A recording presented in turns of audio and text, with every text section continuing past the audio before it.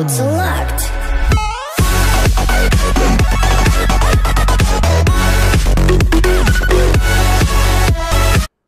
What's going on? Spartans King here, and today we're doing a special episode.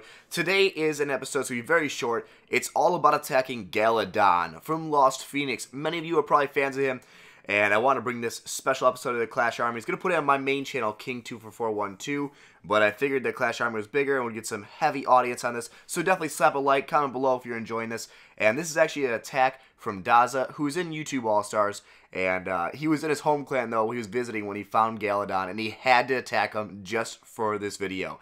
Now, as you can see, he is using Balloonion, and he is doing a good job just spreading his troops around the base, using the balloons, obviously, as a meat shield and taking out all the archer towers, and using the minions to clean up and help put down some heavy firepower. Now, he is going to come from the bottom and the left side very strongly because the Teslas do pop up on the right side, and those can spell trouble for those balloons. But it is going well, and unfortunately, this queen has drawn the minions into the base to attack her, and that is really wrecking the minions fast. So that is a problem. But he is going to drop the king, and the clan castle has been activated, so he's going to drop the queen too, and just leave after taking that gold storage. So 417,000 gold stolen, and almost 300,000 elixir, plus 3,500 dark, and 6 trophies from Galadon. And super painful loss for him but it was a very well executed attack. Definitely an awesome, awesome base.